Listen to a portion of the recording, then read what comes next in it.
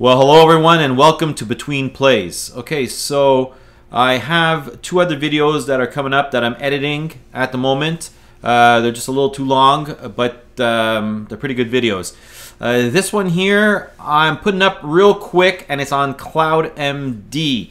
Uh, the information that I'm putting up here is uh, not directly uh, linked to something that CloudMD has done, uh, although there's a video coming out on that as well um, one on Neo, one on NLC, uh, a few of the others, uh, just to touch some base on that, and also vaccines and um, some of the other things affecting the markets. Okay, uh, if you go to www.betweenplays.com, you're going to get some articles that were put up on there. Um, you don't have to do the W, uh, the prefixes, just betweenplays.com betweenplays.com, and uh, there's articles that are up on there, and a lot more articles to come.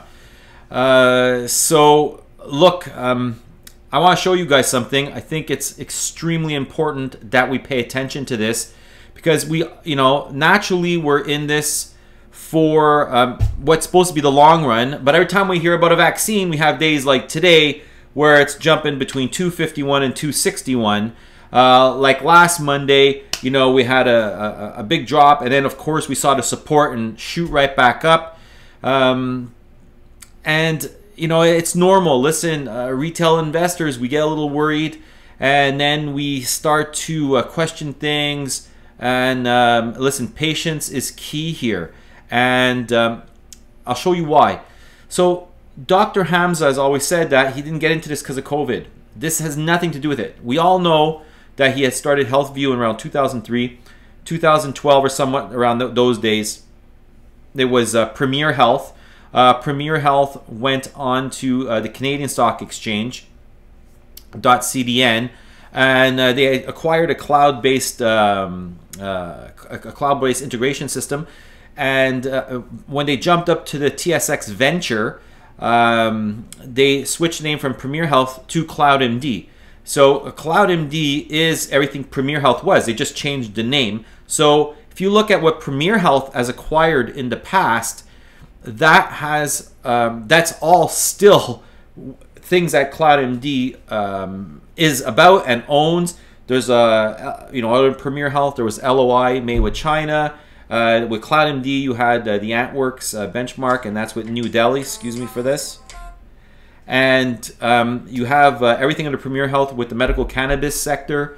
So you, you got to look at all that stuff and put into context that this has been going on for a long time. So before they were on the CDN, on the Canadian Stock Exchange, then up to TSX Venture, and eventually TSX, which will have the uh, the .to that'll follow right after, and you know, na and uh, Nasdaq's, and it will come with time.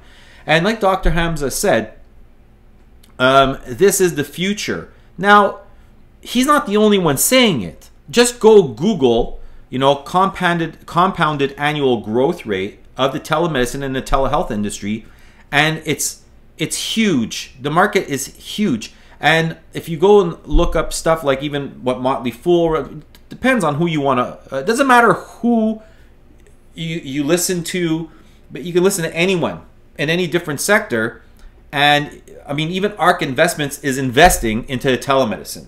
All right. So something I really want to show you that I find is very really important. So let's get down to that. We have a digital health conference congress 2020 virtual conference online November 26 27 of 2020.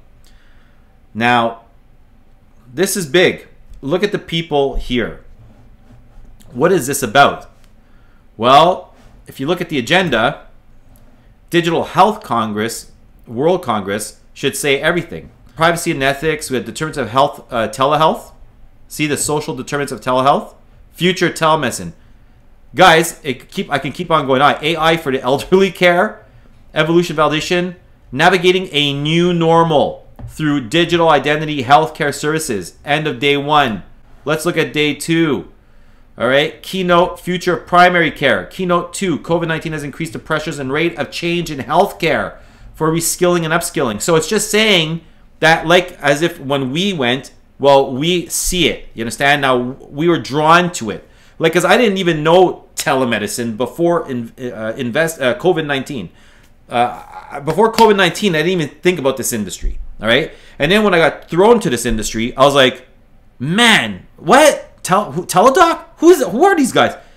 And I went and checked them out, and they were like two hundred dollars a share. And I was like, whoa, what were they before uh, the pandemic? So 2019, they were averaging about seventy dollars. So that's huge because just that alone was saying, look, we're the future. I mean, they've been on a on a stock exchange since 2015 or something like that. So they've been there a while, uh, and there wasn't much, I guess, to to invest in uh, as competitors. So they they shot up. But now, I mean, we have competitors and are all entering the industry, and this is just going to get bigger because this is about the future. Look at this: applying AI for early detection of dementia. That's insane.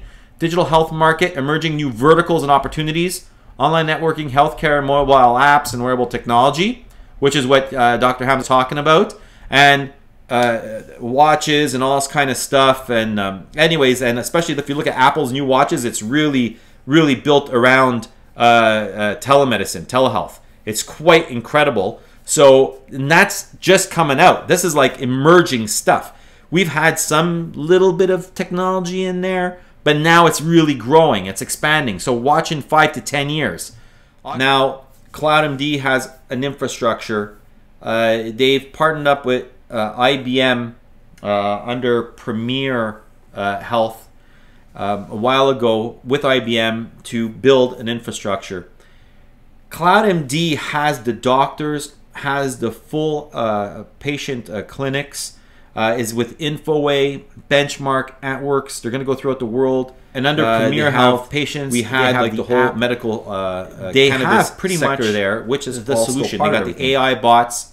They're, they have the technology that they can use to to do a, a full patient um, visit or full patient health care. Look, naturally it's like if you can't use a technology because it's not in your area and stuff like that it's hard to judge it. And the reason why is because you, you're not physically touching it you're not physically holding it. Also it's not shiny like a tesla or neo.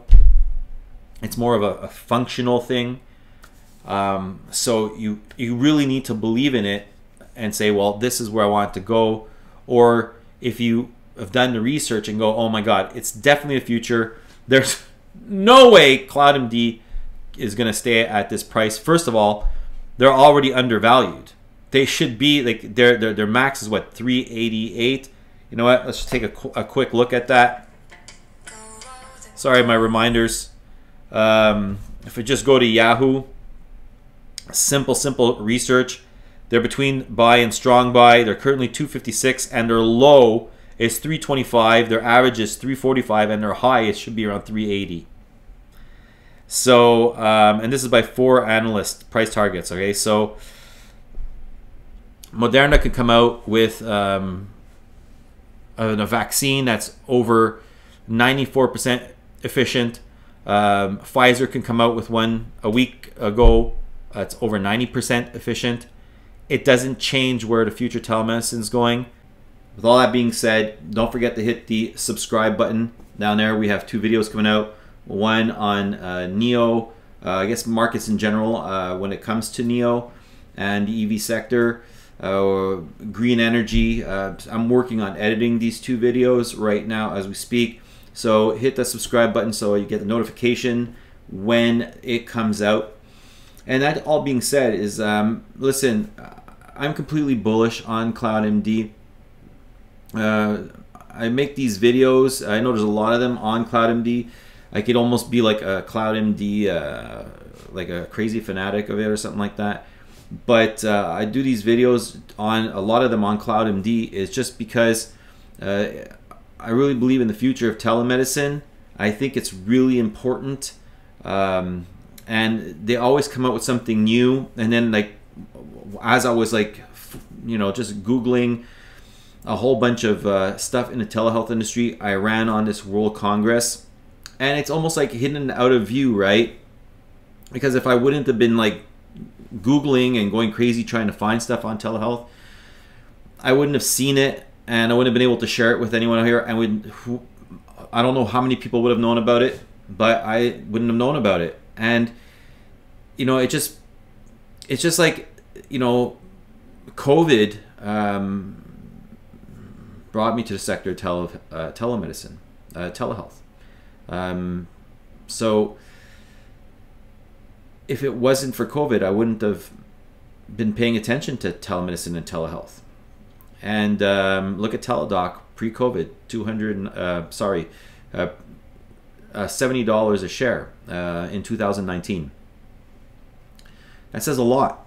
Um, and you know, CloudMD is just getting bigger and bigger and bigger. So you know, you got to give them time to grow, and they're they're speeding up the process. And uh, look, with all that being said, have yourselves a great evening. I'm out.